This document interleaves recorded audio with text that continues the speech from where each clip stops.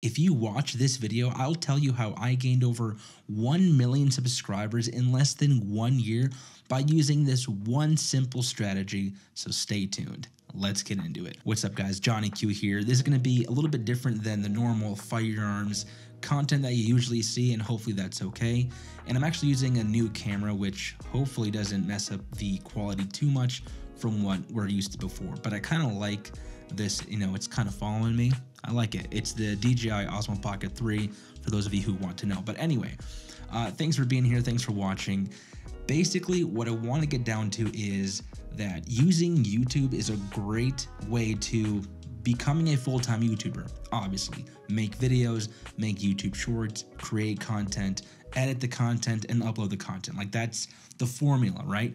But I had found something in the last year and a half to two years that really just bump started and just rocketed my YouTube career, and that's YouTube Shorts. Now, if you're not using YouTube Shorts, I don't know what you're doing. Now, here's the thing people will say, if I used YouTube Shorts, I can, you know, use my long form content, strip that down or cut it into pieces, edit those little pieces into videos and then upload those to Shorts.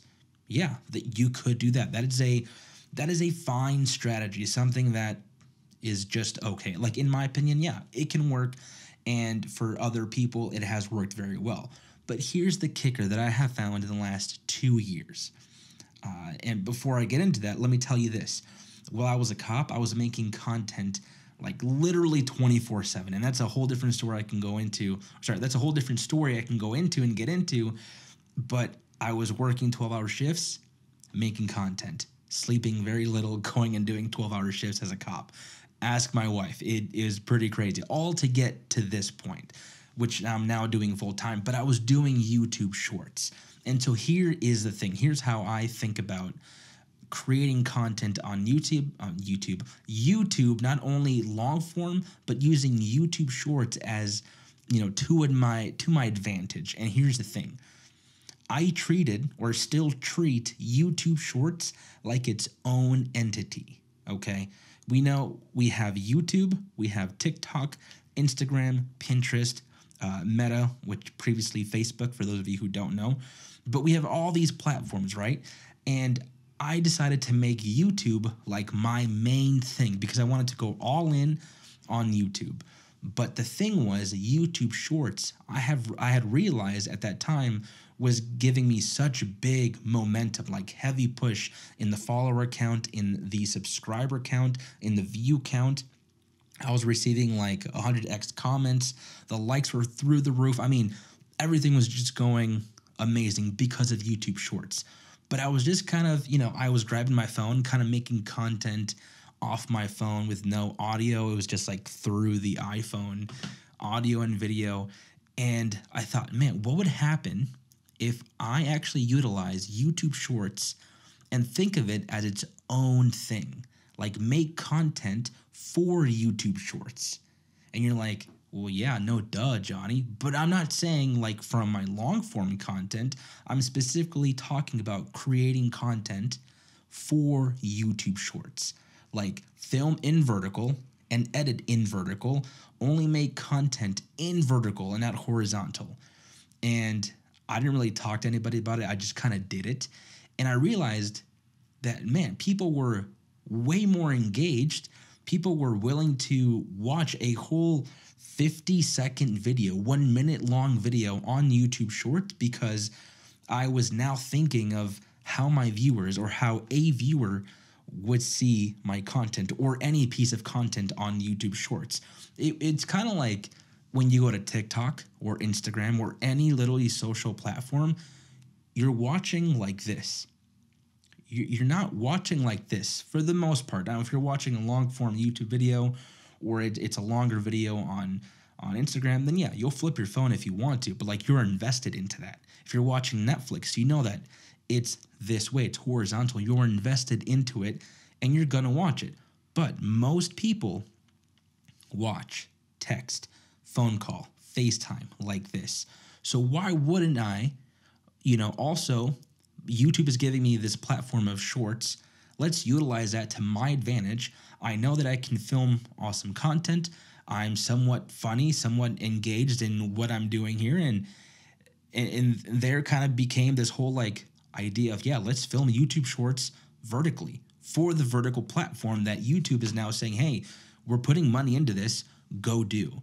And so it kind of was like, yeah, that makes sense to me. And so I started to do it and do it and create content. And after I would say eight months, it just was like, I was, I think, gaining like 10,000 subscribers per day.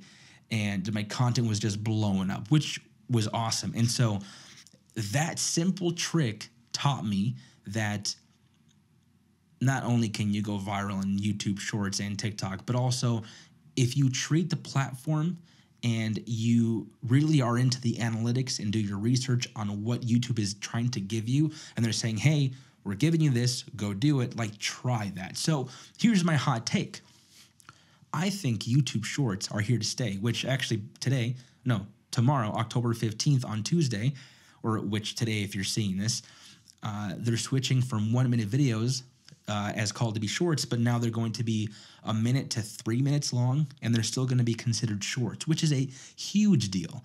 Which even more so a reason to film vertically on your phone, right? Think about think about it like this: when you go to film on TikTok or have a Instagram reel, you're going to be filming like this for the most part. Like most people are wanting a selfie like this, or they're following you like that for the TikTok, for a short, for the reel. So that is kind of that's what I've done. I brought together my experience in marketing, my knowledge in kind of video making, creating and editing, and put it all together with social media to really kind of the best bang for my buck. And so what I'm saying is if you are a creator, if you're an aspiring creator and you want to do this full time, I think utilizing YouTube Shorts aside from taking long form and breaking them down into little edits into YouTube Shorts, which by the way is still a great strategy. Like that's a strategy. And I'm not saying mine is the strategy, but it's it's also another strategy, right?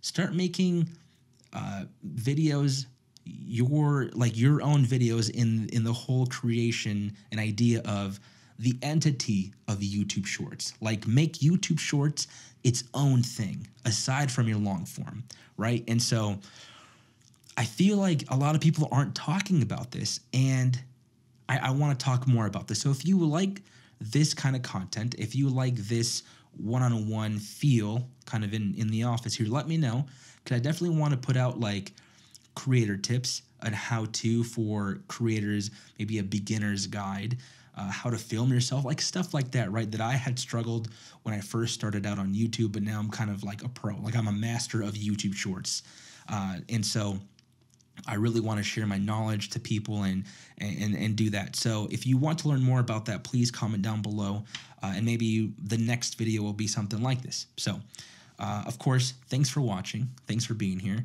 and if you made it this long, congrats. Consider subscribing. And with all of that being said, I will catch you in the next Johnny Q video. Peace.